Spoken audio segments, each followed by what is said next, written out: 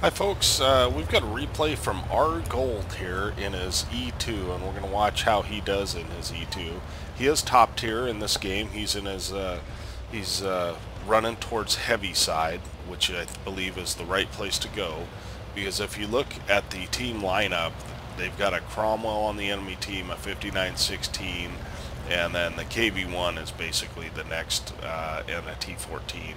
So they do have uh, some armor, but if he uses ar his armor correctly, he should be able to bully um, all everything on heavy side. And so he goes middle first, which um, it could it can be dangerous, but it can also pay off, you know. And it's going to pay off in this case because as long as Artie is not up in the upper corner up here, like in A5, he should be good. So he's able to pick up a shot on on uh, their T-80, which that's a terrible tank. Don't ever play it if you can help it. And he's picking up a little assist as well. His team does not take middle, and that is a huge mistake on his team's part. As you can see, he's using the 76 millimeter. Uh, a lot of people like to run the derp, but I personally three marked this with the, the uh, 76 millimeter, and I just find it more workable personally. I think it's up to preference, but um, but I like what he's doing up here. He's going to push. He notices that his Crusader and his Grant. Not sure why they push that far, but especially a Crusader is pretty soft, and a Grant is is. Uh, uh, basically it's an M3 Lee, and we all know how good the M3 Lee is, haha.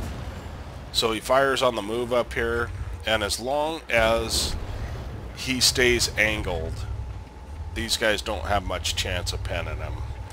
The There's a nice shot right into the driver's hatch of the Su-85, and he gets another nice shot.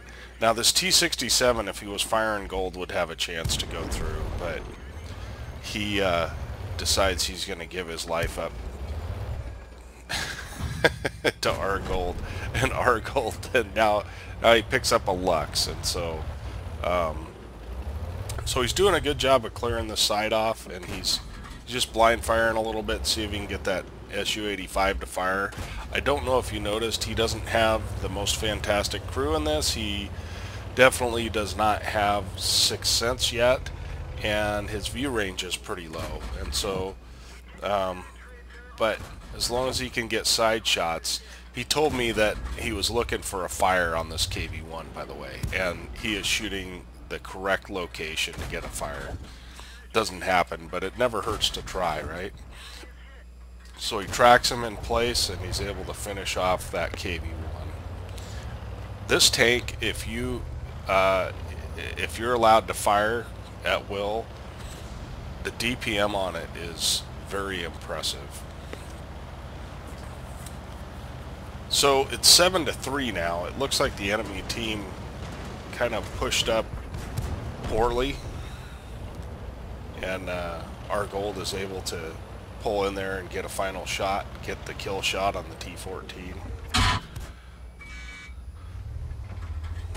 I think that was kind of a lucky shot by the Cromwell. He had to hit the side, although he he was over angled. You can see where he was hit.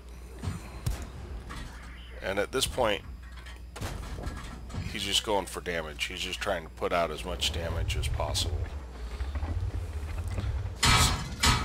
So he's basically full health, but he does pull outside on, and he's punished heavily for it. So. So there's three guys there. Now he's trying to work the angle and get the shot on the 5916, which he does. And now these guys are a little bit distracted. And he's able to pick up another shot here. So that is basically the end of the replay. He does not get any more kills, but uh, if you look up at the scoreboard, he has nine kills. That is impressive in any tank to get nine kills, even top tier. And so uh, I congratulate him on that effort, 1500 damage. And uh, he even got a little bit of spotting. He got 540 blocked, uh, which, you know, he would have died if he hadn't blocked that amount of damage. So good job, and uh, let's go ahead and take a look at the post-game stats. Okay, here we are at the after action report. R Gold ended up with an ace tanker. He ended up with a uh, Radley Walters, which I always like to get. I don't think, I think I only have one of those. Uh, Top Gun, and of course a high caliber. And he ended up with 1130 base XP, 1579 damage, or 70 damage, I'm sorry, and 9 kills. So uh, ended up making 10,000 credits as well. So uh, appreciate him sending that in. That's a that's a great game. And uh, if you want to send your replays in, I have a link down below for my email, and you can send me a uh, link to a WoT Replays uh, website, or um, you can just send me the replay as well. So, best of luck to everybody. I hope to see you out there, tankers, and we will catch you next time.